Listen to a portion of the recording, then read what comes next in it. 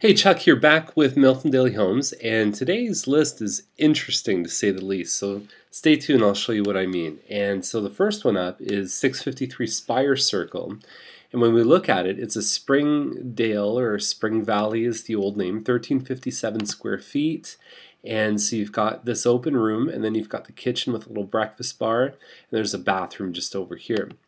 So it's a really nice layout. I mean, typically what we see is the dining room goes here, and then you've got more of a family room on this side. You can see the cable coming down. Um, the uh, the kitchen there it looks nice. There's the main floor, and so you can actually use this. That's the entrance to the mechanicals and the garage door. Um, people can use this as a sitting area, little office. There's lots of uses for it. Sometimes it ends up being a bit of a man cave where you can go and watch football. Um, and there you go, and you're overlooking the park. So when you look at this one, and it's the two bedroom, two washroom version. So the rooms are, are nice and big upstairs. Uh, there's the washroom. This is listed at 289.9. The last one just sold, and it's a slightly different layout upstairs for 305. So what are these guys doing? It's absolutely insane to me why they think they should list at like 2008 prices. Um, I don't know. I wish them luck. I think they're kind of screwing everything up. They're going to get action. They're probably going to sell this for more than asking if they play their cards right. So anyhow, the uh, they deserve to sell for more. So hopefully their agent didn't cost them a lot of money. 620 Frank places at 314.9, and so it's an Oxford a Sumac corner um, built by Mattamy, and so you've got similar size to the previous one too, which is again very interesting, about 1350 something like that. And the photos are horrible; they're really bad resolution. maybe the virtual tour has uh, has some better uh, res shots, but basically backsplash Nice kitchen here. This one's laid out so the family room's in the back. This is just off the kitchen there. And then you've got um, you've got two bedrooms upstairs, and then one. Um, when they say two plus one, it's actually there's a den on the main level, which works really well for a home office. Uh, even a treadmill down there works really well. So, and they've got two full bathrooms upstairs. This one I think is much more in line with uh, with what you'd expect them to sell for. I would expect these guys to get probably within a few thousand dollars of that price. Um, had some good recent sales on that particular model. So Charlton Way is at 339.9. It's a semi-detached three-bedroom, three-washroom, which means two full upstairs plus the powder room and basically no finished basement here, at least 1,500 square feet. And I would think if this one shows well at all, if it's not completely destroyed, it's a good deal. You know, for a semi at that size at this price, very, very good. So definitely uh, wait for the photos, or you may even want to go see it before the photos come out because that's the speed things are moving at. Uh, Heslop is at 359 and it's an old bungalow in, in Milton, and it's in a good area. And so you've got the old wood doors. Um, 60 by 120 foot lot. Yeah, the kitchen needs work. Yeah, it's a little small, but that's what you're uh, getting in the price range. So I think ultimately this one has a lot to offer. It says five bedrooms. I'm imagining three upstairs, probably two down in the basement, and you've got a detached single car garage right here too. So the lot size, if you went in and renovated this one, I think there's upside here. And I think at 359, it's probably going to sell pretty fast. I think there's a lot of value there. Chandler Crescent 3849, um, about 18, 1900 square feet. Somebody in this neighborhood likes satellite dishes a lot. Um, I think that even comparing to what you get from the builder, get some hardwood floors here. I think this represents uh, good value. And actually, they, they mention that here too. 377 is what the builder sells the basic model for. And you get it right away. And you don't have to hassle with all the new construction stuff, hooking up your hydro, hooking up your gas, all those extra costs, levies, those kind of things you don't need to worry about with this one here too. Although you probably have to pay for your fencing. Looks like there's air conditioning and you probably have to pay for window coverings and appliances. But we don't have photos, so we can't tell. Okay, so next one up is Wise Crossing 399. This is the biggest semi that Mattamy makes. It's 1987 square feet. It's called a Southbury.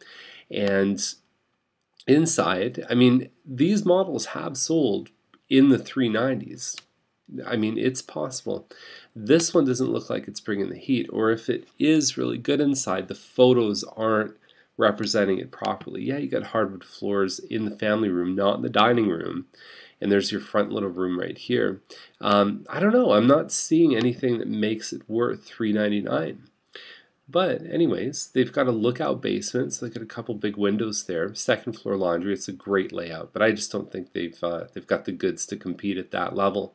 Um, McNeil's at 449, and it's a smaller home. It's only a three bedroom. It does have the double car garage, and looks like there's a bit of an opening um, above the living room. So essentially, you've got the L shape. You've got the living room, kitchen, and then you've got a family room just off to the side in an L shape.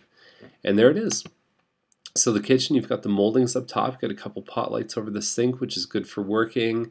You got a movable island, you got a, uh, a, range here, so there's lots of nice features. The family room is not big. I mean, you look two couches there, and you really don't have a lot of space, about the, the width of the fireplace plus a bit more built-in entertainment unit here too, which can sometimes, with the flat screens now, it can sometimes be a little harder to position your TV, but it's easy to drywall over this stuff if it's not good for you. There's the master, big master it looks like, and then you've got the two other bedrooms, two bathrooms upstairs. So at 449, I think they priced it bang on. I think they put it right in a place where uh, where it should be. And you're going to see next week we're going to list a home right in this range, and I'm going to talk about why the price you choose at this particular range is very, very important. And I think that we did a better job of pricing, not to toot our own horn, but there's there's a very um, important consideration when you're talking about pricing. So anyhow, I've talked about it before, but I'll talk about it again next week. 154 Kendall is the next one. It's at 525, and uh, and so it's a 43 foot lot. It's a um, it's one of the Heathwood homes, and you've got some it looks like a laminate or hardwood floor. The kitchen i don't know if that really does the kitchen justice. I mean it looks like you've got granite counters dark cabinets but it's the angle it's the way the light hits. It just doesn't really do it justice. And i'm wondering what this is here too. It looks like there's a wall here that covers half of the fridge I'm not really sure. Oh, that could be just for the island. Then there's a little walk-through area. Sorry, it just looks a little, that's what I mean. It's not doing a great job of showing this kitchen. And you've got the eat-in area there, and then you've got the, uh, the big open concept family room. And very sort of traditional Heathwood style. You've got that nice sort of coffered ceiling in the master. And I guess that's showing kind of a side backyard kind of thing. So anyhow, virtual tours there. I but basically it just shows the same pictures. It's not really a very good virtual tour. Um, I think this could probably be represented better because I have a feeling that this one is going to look a lot better than the photos in person. Okay, so Quinlan Court's the next one, and I talk about the real estate kiss of death a lot, and here's what it is. These guys were listed at 619 for the last three months, okay, with a with a good agent, okay, and and they couldn't sell it. They had nice photos.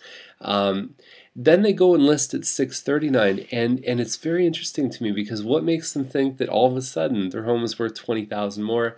Uh, yes, they went through a slow period through Christmas, but I just don't see it. And I don't know how these guys are going to overcome that objection. Is how come at 619 you couldn't sell and you want 639? I've seen the home. It's actually pretty nice. There's some inlay on the floor, which is a little bit, I don't know if everyone would love it, but it's hardwood everywhere. The kitchen's pretty decent. There's walkout stairs from the basement, so you could actually set up a separate living area down there. And uh, yeah, California shutters, they've, they've, they've put the money in just simply because of how they've strategized, I don't think they're going to get the price that they're asking right now. Now, Bell School Line is 725. When you actually look at where it is on Bell School Line, when you do Google Maps, it's right here. But it says it backs onto the airport, which is right down here. So I'm I'm guessing, I mean, I assume the description's the right one. Google Maps isn't always right, but it says it's a six bedroom, two washroom home, 160 by 275 foot lot.